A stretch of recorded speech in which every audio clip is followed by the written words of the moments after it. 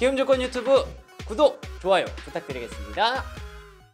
자, 오늘도 미국 주식 이야기 함께 나눠보도록 하겠습니다. 다 함께 외쳐볼까요? 미주알, 고주알. 고주알. 자, 오늘도 뉴스스탁의 장우석 본부장, 또 김동관 팀장 함께 합니다. 두 분 어서 오세요. 반갑습니다. 자, 신종님께서 한 일주일 하시더니 이제 고주알 제대로 하시네요. 예, 앞으로도 기대하도록 하겠습니다. 네. 자, 오늘은요 월요일이니까 한 주 동안에 월가를 어떤 이슈가 뜨겁게 달궜는지 네 가지 이슈 정리해 볼 텐데요. 먼저 화면으로 확인해 보시죠. 첫 번째 이슈는 다우와 나스닥의 다른 행보, 그리고 두 번째로는 코로나19 확산과 백신 보급 일정. 제일 궁금하네요. 세 번째는 틱톡의 행선지 주말에도 얘기가 많았죠. 네 번째로는 고용시장의 V자 회복은에 대해서 이야기 나눠보도록 하겠습니다.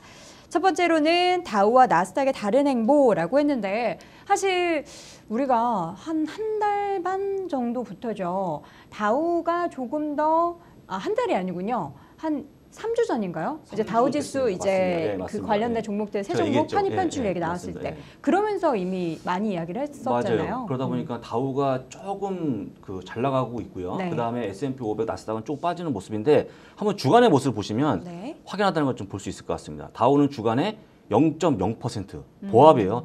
진짜 대단, 대단하지 않습니까? 네. 예, 딱 시장을 0.0이었고요. 하면서. S&P 500, 나스닥은 6%, 0.6% 빠지면서 약간의 빠지는 모습 보였는데 다르죠. 두 지수가 네. 다른데 보시는 것처럼 지금 문제가 된건 나스닥인데 보시면 8월 나스닥이 10.9% 올라왔거든요. 네. 근데 9월은 똑같이 빠졌습니다. 지금 아주 두 달 치게 되면 00입니다. 00. 그러니까 제가 말씀드린 것처럼 만약에 00이니까 오늘부터 올라간다고 그러면 약간 한번 기대 한번 해보는 거고요. 네. 아, 빠진다 그러면 약간 위험한데 어쨌거나 저는 올라, 올라간다고 좀 보고 있고요. 많은 분들이 한번 기대하는 것처럼 올라가길 바라면서 한번 좀 보여드리면 우리가 알고 있는 팡 종목들은 현재 두배 올랐어요. 두 배 올랐으니까 당연히 빠지겠죠. 그러니까 너무나 빠지기 당연한 건데 많은 분들이 어려워하고 있다고 보시면 좋을 것 같고요. 그 다음에 기술주 평균은 80% 올라갔습니다. 그 다음에 보시게 되면 5년 동안의 7% 조정이 총 다섯 번이었습니다. 네. 그러니까 굉장히 많은 거였죠. 근데 중요한 건 뭐냐면 그 이후에 주가 올라가는 그런 모습 보였기 때문에 너무 걱정하지 마시고 어, 좋은 흐름을 좀 기대하면 어떨까 말씀을 들어보겠습니다. 네. 죄송합니다. 네, 기침 갑자기 네, 네. 나오셔서 우리 물좀 네, 가져다 아니, 물 주시기 됐습니다. 바라겠고요. 자, 다. 그 전에는 이제 나스닥이 혼자 막 올랐을 때 저희가 다우나 그리고 S&P 500에서 많은 분들이 시선을 아예 두지를 않았어요. 그때 저희는 이야기를 했었죠. 이제는 S&P를 봐야 합니다. 그런 이야기도 드렸고 그 다음에 이제 편입 편출 이슈가 있으면서 이제는 다우가 달라질 겁니다 라는 이야기를 계속해서 드렸는데 실질적으로 관련해서 움직임들이 좀 달라지고 있다라는 거 확인해 볼 예, 수가 말씀드린 있었습니다. 것처럼 음. 2주의 평균 6.4%, 6개월에는 14.4% 올라왔기 때문에 네. 아마도 그렇게 가지 않을까 한번 기대해 보겠습니다. 음. 예. 지금 보면은 네. 그 다음 자료를 보니까 지금 종목별로 경기 민감주와 소형주 그리고 글로벌 주식 에너지 관련해서 지금 보면은 사실 나스닥은 약간 주춤해도 러셀이처럼 그러니까 중소형주 움직임들이 최근에 좀 그러니까 괜찮지 거죠. 않았나요? 음. 예, 그 말씀하신 민감주, 소형주, 글로벌 주식 올라가는 그런 모습 보였는데요. 네. 딱 보시면 딱 답이 나옵니다. 네. 알리바바는 주간에 0.29%가 올라갔죠. 근데 아마존은 빠지는 그런 모습 보였습니다. 음. 똑같이 또 해서 S&P 500은 0.6% 마이너스인 반면에 네. 중소형주가 모인 러셀 2천은 2.78%가 올라가는 그런 모습 보였습니다. 네. 또한 가지 우리가 알고 있는 경기 민감주의 자동차 업종이 대표적인데요. 음. 보신 것처럼 GM과 포드가 3% 올라가는 그런 모습 봐- 보인 반면 네. 엔비디아가 4.61% 마이너스 나면서 마음이 좀 쓰리거든요. 근데 보시면 우리가 알고 있는 것처럼 흔히 올라갔던 주식이 약간 쉬었고 그쵸. 쉬고 있는 게 올라가는 그런 모습 보여주고 있다. 다시 한번 얘기하면 약간 키 맞추기로 보여주는 게 아닌가 생각이 되기 때문에 음. 네. 지금은 당분간 이런 홍보가 좀 이어질 거라고 보고 있고요. 특히 많은 분들이 너무 빅파이브에 몰리신 분들은 좀 포트폴리오 분산을 하셔야 된다고 좀 말씀 다시 한번 드려보겠습니다. 포트폴리오 분산 이야기는 정말 입이 마르고 닳도록 굉장히 많이 말씀을 드렸기 때문에 지금쯤이면은 다들 많이 분산해 두고 계시지 않을까라는 생각이 듭니다. 자, 이어서는 두 번째 이슈 코로나19 확산과 백신 보급 일정 관련해서인데요. 얘기들이 뭐 긍정적인 얘기들도 많이 나왔다가 뭐 부적응 얘기도 많이 나왔다가 좀 오리무중에 빠져 있는 것 같아요. 팀장님 어떻습니까? 네, 지금 현재 확진자가 사실 굉장히 많이 줄었었죠. 특히나 유럽 쪽에서 줄었었다가 네. 최근에 갑작스럽게 증가를 하면서 폭증하고 있는 상황이고 네. 지금 글로벌하게 3천만 명 이상 지금 현재 이 코로나 확진자가 나오면서 계속해서 이 확진자가 언제쯤 멈출지에 대한 그런 어, 결과가 굉장히 오리무중으로 빠져 있는 상태이고 네. 겨울 독감 미 온다고 하면 네. 정말 또 한 번의 이런 코로나 19를 다시 한번 확산시킨다고 하는 그런 그렇죠. 너무 불안한 소식들이 이어지고 있죠. 사실 지난주에 이 아스트라제네카가 이렇게 다시 한번 시험에 재개를 하면서 임상 3상에 대해서 자신들이 뭐 CEO가 뭐 10월 달까지 결과를 내겠다. 네. 그래서 12월 달에는 다시 한번 보급을 하겠다. 라고 음. 이런 자신만만한 얘기를 했지만 사실 많은 분들께서 그런 부분에 있어서도 특정한 그런 어, 결과물이 없기 때문에 그렇죠. 네, 믿을 수가 없는 상황이다라고 했고요.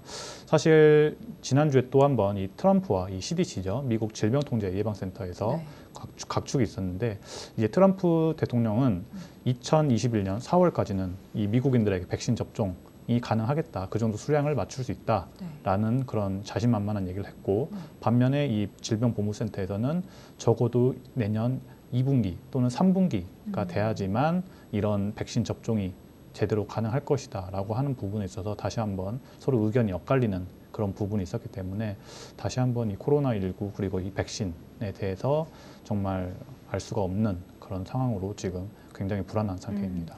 사실 이 백신이라는 거는 안전성 안정성이 가장 중요하잖아요. 맞았을 때 이제 부작용이 정말 거의 없어야 하고 그리고 사실 중요한 건 이제 출시가 됐을 때 백신이 나왔을 때도 우리가 맞을 수 있는 단계가 있더라고요. 처음에는 우리나라에서 보니까 처음에 뭐 의료진부터 맞고 그다음에 또 어떤 뭐 나이대 맞고 그리고 점점 달라지기 때문에 음, 단기적으로 뭐 올해 말, 뭐 내년 초 될 것이다 이런 기대보다는 우리가 서로 이제 개인 위생을 좀 방역에 신경 쓰면서 좀 기다릴 수 있, 는 그런 자세가 필요할 것 같습니다. 이거 혹시 백신은 음. 혹시 그거 기억하세요? 올 여름에는 네. 봄에는 가을이 되면 나올 수 있을 것 같다. 계속 미루잖아요. 예, 그 다음에 음. 얼마 전에는 9월이면 나올 수 있을 것 같다 네. 했다가 11월까지 갔다가요. 올 겨울까지 갔다가 다시 내년까지 나온 거거든요. 음. 점점 백신에 대한 어떤 이 약에 대한 위험성 이런 걸 보면서 미루고 있기 때문에 제가 보기에는 올 겨울에 막상 가면 네.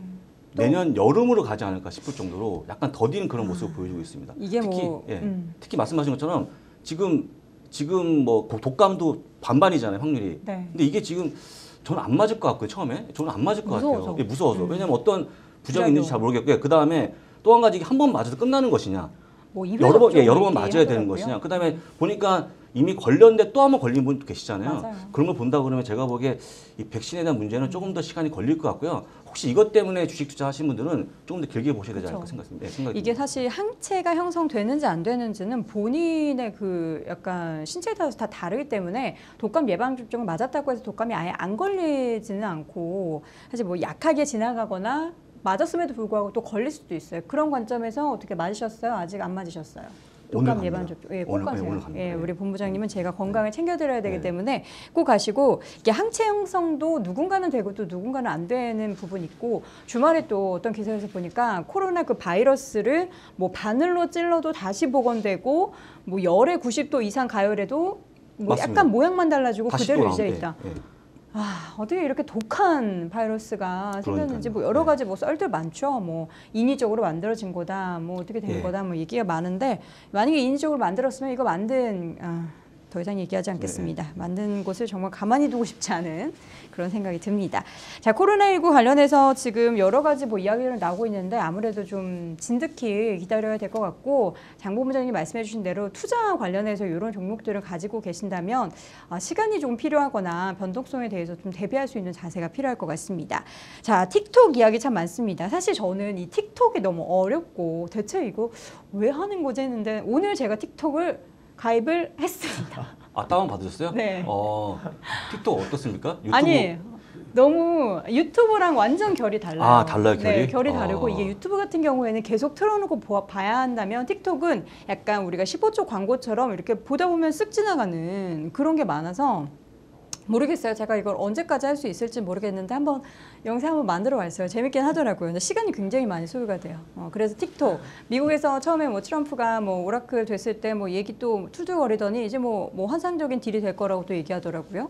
음. 네, 뭐 블레싱까지 한다 네. 이런 표현을 했는데 굉장히 지금 너무 버라이어티하게 이 틱톡 관련된 소식들이 벌어지고 있어서 네. 많은 분들이 귀추가 주목되고 있는데 그렇죠. 사실 지난주에 뭐 틱톡과 위챗 뭐 이번 주 일요일까지 음. 다 다운로드를 금지시키고 미국에서요? 네, 네, 그게 90일 가능이 가능해요? 네, 트럼프, 트럼프 대통령은 일단 행정 명령을 그렇게 내렸었는데요. 아이고. 그래서 굉장히 많은 분들이 걱정을 했고 특히나 이 위챗 같은 경우에는 미국 내에서만 1,900만 명 이상이 사용하고 있고요. 아, 그래요? 지금 이 위챗 페이가 사실 위챗보다는 더 중요할 정도로 이 위챗 페이가 없으면 중국인들이 사실상 거래가 불가능할 정도의 아. 그런 payment 시스템인데 그런 부분에 있어서 어 9월 20일자죠 어제 음. 다시 한번 이 소식이 났는데 이 틱톡 글로벌이라는 신설 회사를 미국 내에 세워서 네. 이곳에서 뭐 오라클이 12.5%의 지분을 확보를 하고 음. 뭐 월마트가 7.5%의 지분을 확보해서 네. 오라클 같은 경우에는 뭐 데이터를 음.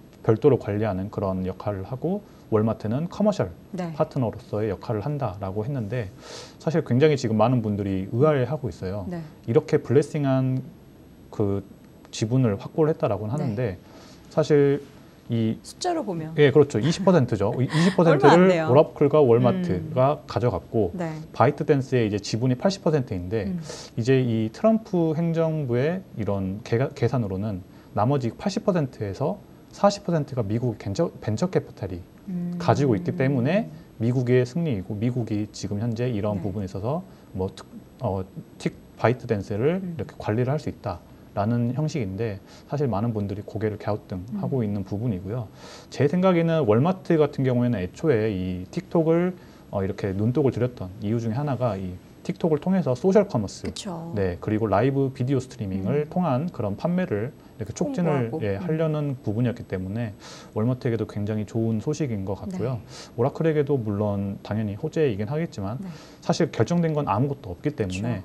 이 부분에 대해서도 사실 이번 주 내내 이 미국 증시를 바라보는 분들에게 있어서는 가장 중요한 내용 중에 하나가 아닌가 싶습니다. 아니 사실 제가 이 이슈가 너무 궁금해서 아니 틱톡이 과연 어느 정도길래 이렇게 미국에서 이 틱, 중국 틱톡 거를 뺏어오고 싶어서 네. 안다는 건지 제가 궁금해서 사실 설치를 해봤어요. 근데 저는 뭐지? 자꾸 뭐 키면은 막 뭐 춤추고 뭐 이렇게 바뀌고 뭐 네, 이런 거 그렇죠. 나오는데 뭐가 음, 아직은 잘 모르겠어요. 아직은 잘 모르겠는데 이게 개인 정보나 뭐 이런 게 또 연관돼 있기 네, 그렇죠. 때문에 이게 다른 내용보다는 네. 텍사스가 이제 트럼프의 표밭 아닙니까? 네, 네. 중요 표밭이다 보니까 일단 여기에 한 2만 몇천 명이었죠. 직원을 직원을 새로 뽑는데 일거리가 창출되는 네, 효과가 한 3만 명 가까이 되면서 틱톡 인수하면 예, 일- 아. 일자 생길 거 아닙니까? 그런 걸 보여주면서 약간의 제가 보기에는 대선을 노린 약간의 그런 수가 나온 게 아니 그럼 아닌가. 미국에 네. 자체적으로 만들면 되죠. 이거 굳이 뭐 중국 거를 왜 가지고 오는 거예요? 그게 이제 새로 만들면 언제 또 회원을 또 유저를 모으겠습니까? 예, 모으는데 지금 현재 한계가 미국만 있으니까. 가입자가 1억 명 정도 되니까 참. 예, 그, 그 값이 사실 그 값. 예. 틱톡이 대단하긴 대단한 거 봅니다. 중국에서 만든 틱톡이. 이거 이제 이렇게 보시면 되겠죠.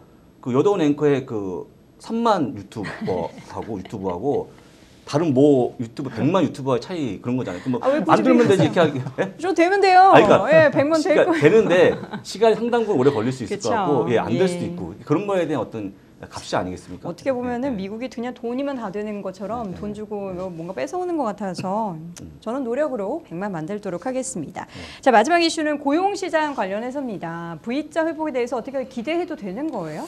저는 지금 어렵다고 좀 보고 있고요. 네. 일시때 이게 그 여러분도 아시겠지만 돈을 풀면 음. 풀면 돈을 쓰셔야 돼요. 많으면 돈을 써야지만 인플레이션이 약간 올라오면서 경기가 좋아지거든요. 많이들 이 돈을 막 쓰시던데요? 찍어 주잖아요. 네. 지금 정부에서 음. 연준에서. 근데 돈을 찍어 주면 그 돈이 다 사회로 들어가는 게 아니고 일부는 주식으로, 일부는 부동산으로 모여서 오히려 자산에 대한 버블이 커지고 있는 상황이기 때문에 이 돈이 어디로 가냐면 쉽게 얘기하면 고용 시장으로 들어가야 되는데 고용 시장으로 들어가려면 실업자가 줄어야 되지 않- 아니, 아니겠습니까? 근데 실업자가 오히려 제가 보기엔 거의 3주째 쉽게 지금. 횡보하고 있는 그런 모습이다 보니까 지금 가장 큰 고민이 연준에 이 공입치가 나가지 않는 부분이 여- 고민인데 제가 보기에는 쉽지 않을 것 같아요. 왜냐하면 현재 이분 이분들이 누구냐면 우리가 알고 있는 그 중소 상인들, 뭐 레스토랑 이런 데 일하시는 분들이거든요. 근데 지금 그 일상으로 복귀가 좀 멀어지지 않습니까? 지금 그쵸. 보시게 되면 그러니까 약간 어려운 지금 그런 모습 보여주고 있고요. 음. 이 부분 때문에 아마 이번 주에 한번 한번 기대해 볼 것 같은데 저는 개인적으로 70만 건이 꼭 나와, 나와, 나와준다고 보- 보는데 하짝 어쨌거나 80만 건 중반은 계속 횡보할 수밖에 없다라고 보시는 게 맞을 것 같습니다. 이게 뉴욕시에서 이번에 그런 게 또 생겼더라고요. 각 레스토랑에서 코로나19임에도 불구하고 레스토랑을 오픈해서 만약에 우리가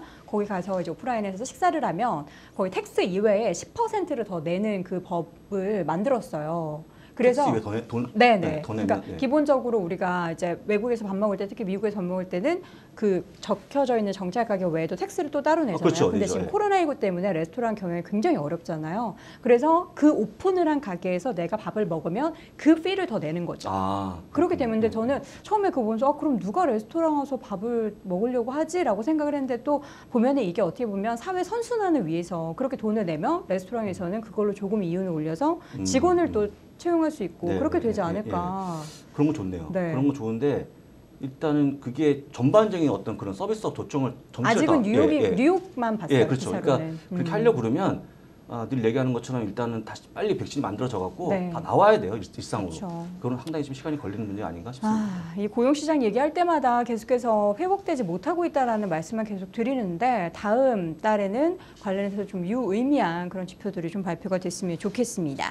자 이번에는 뉴욕 증시의 오늘 밤 체크 포인트 볼 텐데요. 이제 9월 말, 10월 초 되면 이제 실적 발표에 대해서 진짜 시간 빨라요. 예, 다 빠르죠. 다 끝났고요. 네. 일단 근데 지금 중요한 것은 제가 얘기했지만 지금 나스닥 지수가 현재 모습인데요. 네. 지금 붉은색이 52평선입니다. 음, 웬만하면 52평선을 안 깨는 게 좋은데 이탈했네요. 지금 이미 깨졌습니다. 음. 깨졌는데 이게 더 가속화될지 아니면 치고 올라올지를 봐야 되는데 저 개인적으로 저는 치고 올라간다고 좀 보고 있거든요. 음, 근데 일단 지켜보시면 좋을 것 같고요. 이 50일선에 대한 지지가 워낙 강하기 때문에 지금 약간의 어려운 부분이다. 그다음에 이제 중요한 것은 FANG 알고 있는 Big 5 네. 종목들의 모습을 지켜보시면 좋을 것 같고요.